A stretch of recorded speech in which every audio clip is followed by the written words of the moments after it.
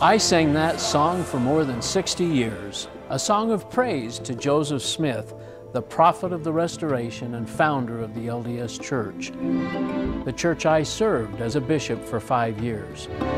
I knew the church was true. I was a faithful Latter day Saint. My life has been built on certain truths, but wishing doesn't change the truth. Jesus said, You shall know the truth, and the truth will make you free. When I finally learned the truth about the real history and doctrines of Mormonism, I realized that I was following the gospel of Joseph Smith and not the gospel of Jesus Christ.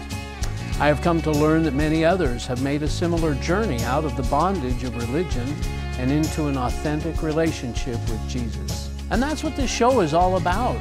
Courageous people who want to share their story, hoping that you, the viewer, will discover the same new life in Jesus. So if you're a Latter day Saint who is struggling with questions or seeking a genuine encounter with the Savior, we invite you to join us tonight. We have a joyful message that we want to share with you.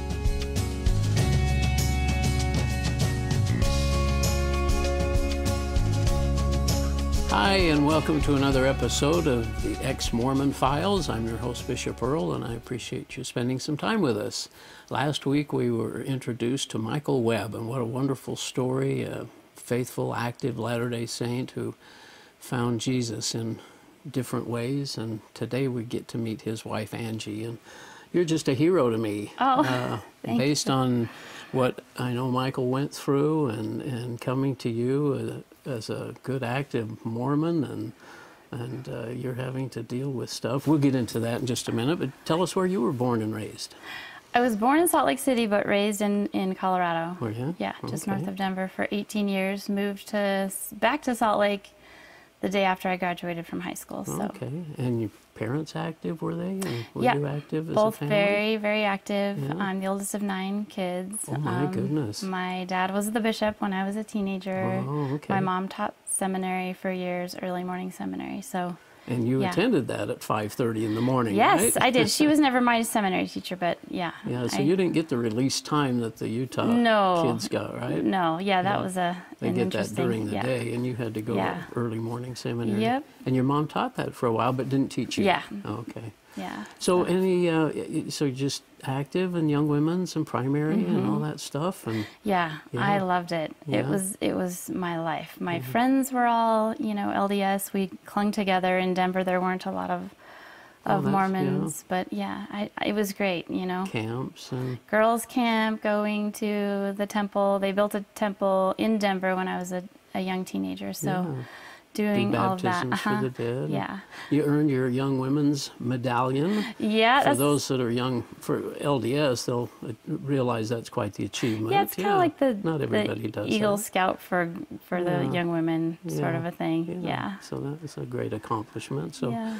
just knew the church was true. I guess you bore your testimony about it, did you? Yeah, yeah, I did. I think even as a teenager, though, um, I always craved any message about Jesus. I mean, it was always, you know, couched in the church because that's all I knew. But I think Yeah. even then, the Lord was was pulling me. You so. actually had an experience at at age 11. Is that- Yeah, I, you know, it's interesting. Sometimes people will say, "Well, did you ever have a born again experience?" And I think some people can pinpoint a time or a day. I don't know, but for me, I remember as an 11 year old girl, I was with a group of friends, and they were up to no good, and I mean no good. Oh.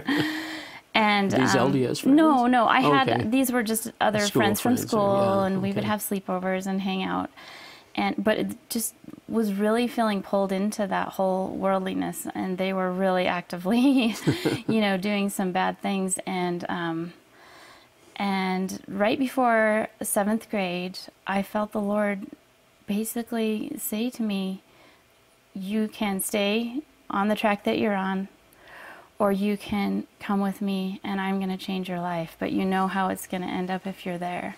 Wow. And I just sort of gave my life over. I mean, he chose me. It wasn't my work, you know, but from that moment on, I, I was changed. I still went through years and years in church oh, uh, sure. yeah. membership, Yeah. but I, I just But you felt a different yes. relationship with him. Yeah, and I and even at that young age, I, I could tell the difference in in some fluff talk versus somebody testifying of Jesus. You know, even if it wasn't necessarily the full. Well, that's special, and I'm sure yeah. that's been helpful to you all these years. Yeah. Now you remained active, though. I mean, Oh, you, yeah. you meet your husband at Yep. a University of Utah Yep, Book of Mormon class, class, uh, yeah. institute, I guess. Yep. Uh, that's where you met Michael. Yeah. And uh, and was it love at first sight kind Well, of thing? it's it's funny because I was sort of an obnoxious Mormon, and so I thought like you know, the super spiritual guys go to like foreign countries on their missions, and they're Oh. just super dedicated, and they must so- be special to be called out. Okay, yeah, I guess gotcha. whatever. It's Yeah. just I'm annoyed when I look at that that stuff about myself, but. Um, but he, you know, he had been divorced, and Mm-hmm. um, I was, you know, just this young, sort of naive gal. But he was wearing an EFY teacher T-shirt, Yeah. and I um, went to that EFY, and so I thought, oh, you know. But then I found out he had written some of the music for that EFY, and I was, um, you know, about nine years younger than him. So, so my parents were like putting the kibosh on that immediately. weren't happy, yeah. yeah like you can go out with them once, that's it. Yeah. So, so yeah, but, you- I mean, it was just the whole thing was such a God thing, you know, because Yeah. Michael has such an influence in, in my um, being open to, to change. So, yeah. But you continue dating apparently, and I guess against folks' will, and temple. maybe they eventually come. You do get married in the. Salt Lake Temple, Mhm. right? Yeah, they ca- So they came around. Folks yeah, happy about that, Yeah, and felt like maybe this was a good thing. Mm-hmm. Yep. Yeah. And we had five kiddos and did the whole Mormon thing baby blessings, baptisms, ordinations, the whole thing. So, yep. And parents were happy with that. Mm-hmm. Okay, so they were all right. Yeah, it was all good. Doing the thing. Yeah. Doing the outward appearance where everything looks so great. And when was this? uh, you were where were you at at this point? Was this in? we raised our family in East Mill Creek Okay. um, in Utah. So, Okay. yeah, just right there. and so now Michael starts. I guess what what happens next? You know, my thing about Michael is I think he was always a faithful attender, but he was I think he was on his way out of the church ever ever since he, you know, we got together because we conference. Even when you were married, you mean, kind of thing. Or? he would never have thought that's what was happening. But like watching um, LDS conference every six months, he would just be so frustrated, and it would drive me crazy because he would make comments like, "I can't believe they said that." You know, just the frustration of you give this talk about Jesus and and how great he is, followed by you know, if you are worthy and when you earn your right to heaven, and it, it just would drive him crazy. And so even then, he was seeing these differences, but I was feeling threatened like, ah, you're not supposed to say anything negative against the brethren. You know, we make covenants in the temple not to do that. So, Right. so it was just sort of like this threatening thing. Yeah, Yeah. yeah. So I did not look forward to conference because I thought, oh, he's going to be the disgruntled member who's Listening to yeah, but things. really, I mean, he was just asking questions, which was so great. But you know, you're not supposed to ask questions when you're a Mormon. You're not. You're. You're. It's not being faithful to have questions. You know. So. Well, he mentioned something about a two-year process that he went through, and we really didn't even get into why he got to that, that point. But you saw some changes in him, I Yeah. guess. When was Yeah. he starting to read the Bible, or was he? Yeah, I think at some point he finally just thought, I, I can't do this anymore. I think he had been reading, um, you know, books and listening to sermons and listening to Christian music Christian and music, yeah. and reading the Bible and really learning the gospel. And it's interesting because I I would have agreed with everything that he shared Yeah. because it was all so Christ centered. I loved it, but I thought, well, let's love it and stay in the church. You Yeah. know, let's not let's not Let's not be rock the boat Yeah, no.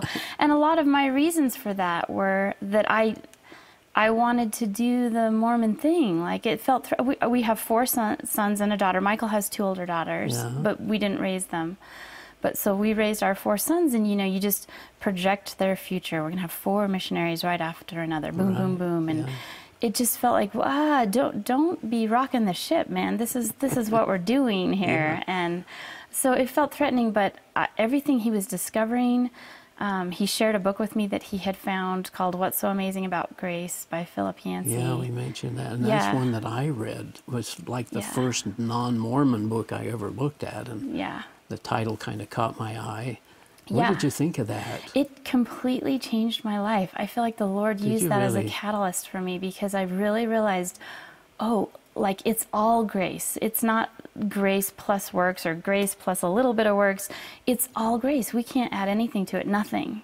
Like I really feel like the Lord spoke that truth to me in reading that book and I realized after I read it, man, this is the truth. And even if someone speaks differently at conference and says it's really after all you can do, like the Book of Mormon scripture says, I can't deny this is this is true. It's grace. It's all grace. So that that was another seed that was so planted. Mm-hmm. even even if they're telling us something different in conference, Yep. I've got to believe what Yeah. I'm hearing Yeah. knowing about them. So I think part of my journey was to feel like um, it, it got to the point where I was like, well, I'll just stay in the church and, and make changes from the inside because this is God's true church and it's just Mm-hmm. messed up with fallen people and he'll come fix it when he comes again and but right now I'm just gonna stay and Well, really focus on kids, Jesus and right? yes and so I was doing the whole church thing by myself. I, young women's president. I was young women's president, um, and you know loved that. But even that was challenging because you know you read through those manuals and you're like, I can't, I can't teach that lesson. Okay, let's skim through that paragraph and we'll focus on this. You know, so it it was challenging because I couldn't do something. So I felt like you know even there, God was Yeah. touching your heart. and- yeah. Yeah. And and it, it got to the point where I couldn't stand Sunday school, so I just wouldn't go. I'd sit out in the foyer and talk to my friends, even though I was the young women's president. Okay. Go talk to one of the girls. Well, there's usually a reason to stay out there Yeah, and yeah. Mm-hmm. watch, help somebody else with the kids or something. Yeah, I- yeah. So interesting. yeah, but watching Michael, you know, he had struggled with certain addictions and and just really had some hard things that he was dealing with, and I started to see him change. Like he was changing from the inside out, and I couldn't deny that that was God working through him. So you know, it was interesting. Yeah. And challenged his testimony, I guess. And Yeah. and were you thinking? Uh, what were you thinking all this time? Well, you know, it was all fine if if we were doing the Mormon thing while he was doing his So thing. he hasn't messed up your right. celestial yeah, marriage like the little all that. picture, right? Yeah. Um, but it got to the point where he finally came to me and said, I, I, the garments are coming off. I can't wear an emblem of a religion that I don't believe in. I, I can't do it. It's not. That must have been devastating. And I yeah. was devastated. I mean, I just had a terrible reaction. Within that week, I remember um, snowshoeing in the hills behind my house. At this time, we were living in Midway. And I just fell on my knees and said, Lord, please just soften his heart. Help him to, you know, see the truth. Help him to come back and lead his family. We need him to be like the priesthood leader of our home, you know. and. Yeah, and um, just so sincere, you know. And I just over the next several months, like a heart was changed, but it was mine. It was shocking. Like at first, the Holy Spirit said, "He's fine. Don't even worry about it. Leave him where he's at. There's no need for you to worry about changing him." Your heart and softened. then my heart starts softening and i'm seeing i'm seeing things and so you know just little transitions and then i start going with him to support him while he leads music at a christian church What did you think of going this contrast between the Mormon Church and the Christian well, I Church? love I loved the Christian church. I just thought, why can't we be so those kinds of things? You know, you attend a Christian church, it's all about Jesus. The praising. and the Yes, but and then you worship come the back and you're like, I don't think we've had any mention of anything for the last two weeks. We've just heard the reports of the kids coming back from scout camp, and Yeah. that's fun, Yeah. but it doesn't feel like the the gospel. worshiping this yeah. Jesus that so I really liked it, but it also felt threatening. It felt scary to me because when you've It's devoted you've your known. life It's and made yeah, yeah. and you've made covenants and promises, you there's fear there. You feel like I I'm going to be doing something really wrong if I question too much. It it felt really frightening. I remember one time at, at the church in Heber, a woman came up to me and and said, "Can I pray for you?" And I said, "Sure." And she just was letting loose and praying over me and, "Lord, please bring Angie." And I just when she finished, I felt like, "No, you just don't understand. this is just a really hard decision. But all of those things, and so many other people who were praying for us, just softened my heart. to the church. yes, they Mhm. just so, no, they just softened my heart and made it so that eventually God just said, "Let's cut that tie and look forward. You don't ever need to turn back again." You know, so. Uh, yeah, it was just. Did you think back of your 11 year old experience too, that, that this was Yeah. more about Jesus? And Yes, and that's the thing. You know, I've said I. I don't know what the Lord is doing in my Mormon friends and family's lives. I have no idea what He's doing.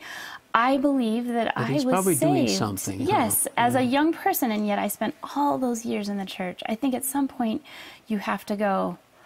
Uh, I, you, you have to cut the tie and move on. You can't stay. You can't stay and truly, you know, know Jesus and stay in that but church. it can be a sacrifice. I mean, Yeah. your family's probably not, Yeah. your family, uh, brothers, sisters, parents are uh, probably unhappy or. You know, um, some of the others have left. Um, it, Oh. it's, I think it's been, my parents have been very gracious. I think it's been hard on them, though. though, yeah. But it's kind of one of those things where we just don't discuss it very much. Yeah, You know, yeah, so. that's kind of the way we've left it with a few of ours. Just, Yeah. It's easier just not to talk about yeah, it. exactly. So. Yeah. Well, you, um, gosh, there's so much to cover, and you had some little quotes that I thought were so neat. Uh, something about a dim light bulb. Do you remember yeah, I, I just, you know, I think the longer you're out of the Mormon faith and, and the, the longer you're just truly with Jesus and He's working through you, the Mormon church just looks like a dim light bulb on its way out. I mean, there's just no comparison. Like, God is huge as a Christian. He's everything, you know, where He's just part of the, the package deal in Mormonism. You know, I'll never forget an experience going over to my house. One of my brothers were on a mission, so all nine of us gather with our families to do the whole video chat or phone chat or whatever. Yeah, yeah. And um, he was telling an experience he was having in in um, I think he was in Brazil about meeting a Christian and how amazing it was and how this guy kind of had an influence on him out on his mission. And somebody in the room said, well, yeah, but all the Christians have to, to teach is Jesus. I mean, we have all this other stuff. and that So was sort all- of a light bulb moment. All you like, have to teach about is hmm. Jesus. Huh? That is Well, funny. exactly. And now it's what else would you want to talk exactly. about? There's nothing bigger or Yeah. better or more important than Jesus. So, yeah. Well, did you did you understand even a little of this as a Mormon?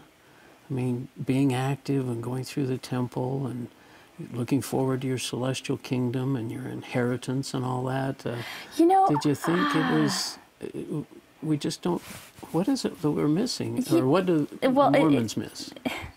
when Jesus is everything, all of that other stuff is just a bunch of, it's nothing. It means nothing. Just I mean, I'll never forget even as the Lord was growing me, going through the Mormon temple and thinking, you know, because they show this movie and thinking, if Jesus and Heavenly Father, at the time I didn't understand the Trinity, Yeah. they represent them as two people, really are shiny cellophane beings who talk in monotone. I don't even want to go there. I mean, it just was so passionless, you know. Yeah.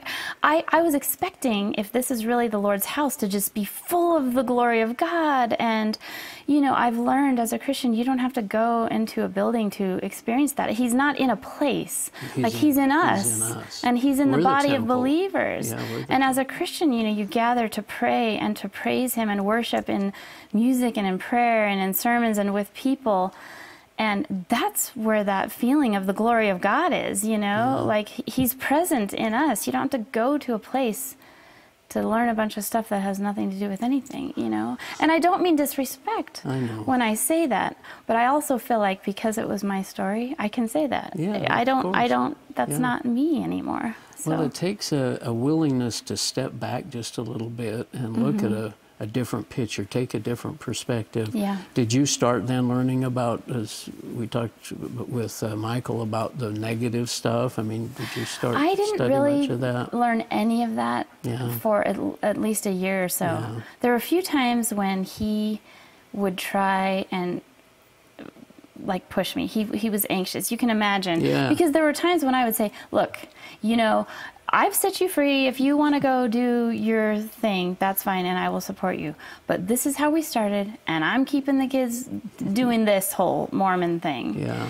And I can see now, in hindsight, how totally frustrated he must have felt, like just hands tied, because you know now I'm just so thrilled to have our children have this this different this different life to belong Mm-hmm. to the Lord it, it- and not have that pressure of missions and all of that stuff. It's been so great. It's a freedom, isn't yeah, it? it's That's- totally a freedom. And my yoke is easy, my burden is light. I yeah, love that. And- yeah.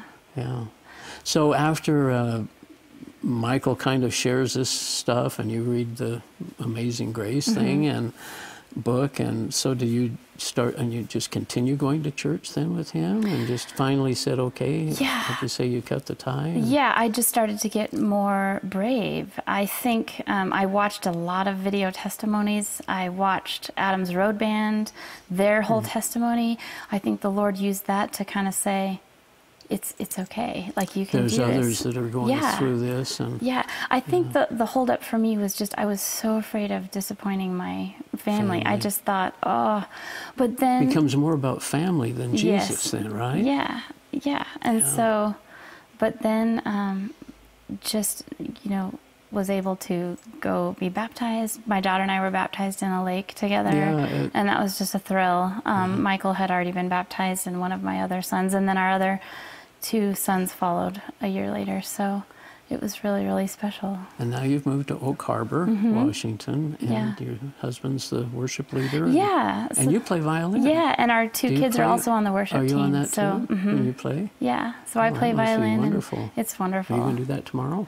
Yeah, we're gonna visit our old Maybe we'll little have to church. run up there. It'll be It'll fun to be see fun. that. So yeah, Yeah. it's different, but Well, gosh, um, time's running here, and uh, what um, what would you say to the your family and friends and you know, I, I don't. It's it's interesting, but I don't feel any pressure to say anything because Okay. I just let- I know that it's God's work. You Yeah. know, I I am not shy about my faith. Um, they know that I love Jesus. Um, there are times when I feel like I want to say, "Can I pray with you?" You know, um, but I don't. I, I just know it's the Lord's work. I pray for for them a lot, but um, I, I don't know what He's doing, and He might be leading them. And, and maybe he'll let me be a part of that process, but I don't feel any pressure to say anything. If a Mormon's having a little bit of a question or a crisis of faith, what what do you think they should do?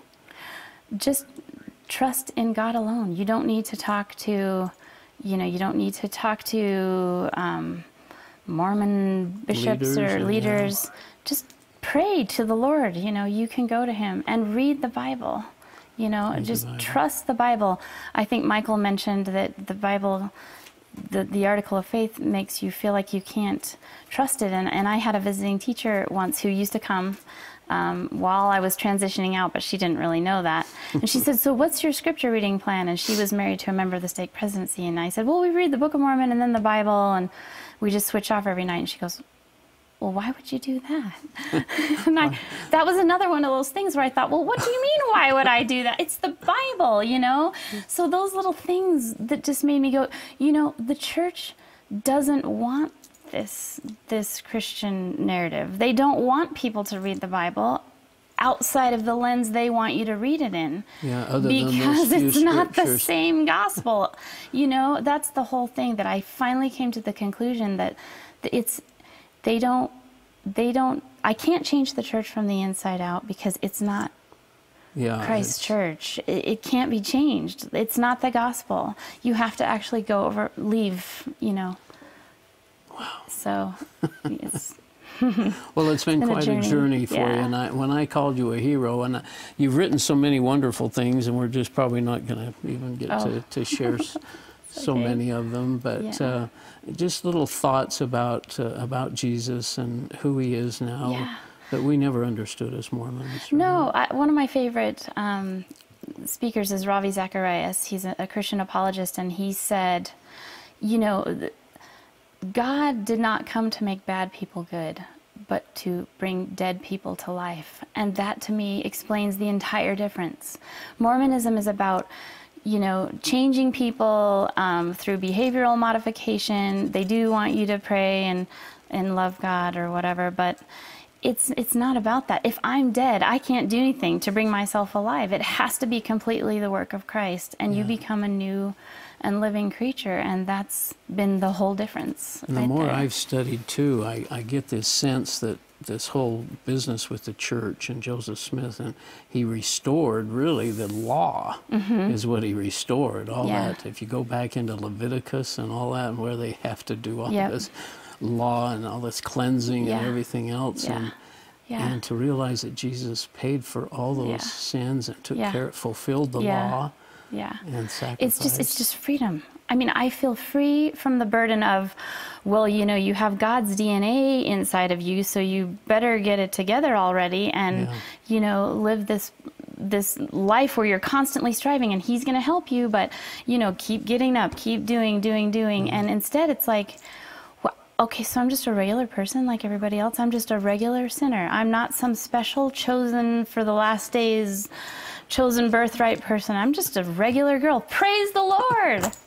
Thank I'm you. a sinner, and yes. yeah, and look what you did for me. yes. It, it just it's, it's such a relief and to just be free So now you can go sin and do all the sinning you No, want, right? no, no, no, no. That's not. Yeah. You know, I don't think my experience is that uh, my um, friends who know Christians, they don't. If you really know a Christian that's sincere, you don't think that they think they can go out They're and do spending more time on Sunday at church Yes. than they ever Yeah. probably did as a yes. Mormon. I do. Yeah, and and and and you don't want to sin. I mean, No. you, you, the whole thought process is, and they and they're reinforce that concept all the time. They just Mm-hmm. Yeah. believe that we're yeah, eat, drink, and be merry, Right. and just do what we want, and that we have no responsibilities or no, no, desire. and with the freedom comes a knowledge of your brokenness and your need. You know, I'm still reminded of that. And your appreciation. Yes, that Yeah. I can't do anything outside of God. That makes me dependent and so thankful, you know,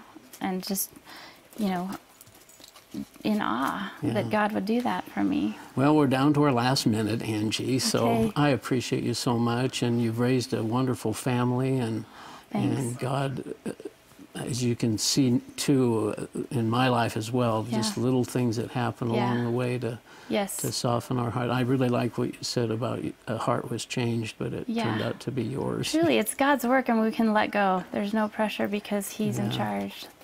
So, Well, thank you and very much. And uh, I did want to mention one quick thing. We're, we're almost out of time, but a bishop did tell you to, to divorce your husband, right? Yeah, we'd gone through some really, really hard things involving some mental illness, and he had well, told me that. But he also became a, a great support to our family after I said, uh uh no way, I'm not doing that. Good for you. Well, thanks so much. I appreciate you. And thanks for joining us. We'll see you next time.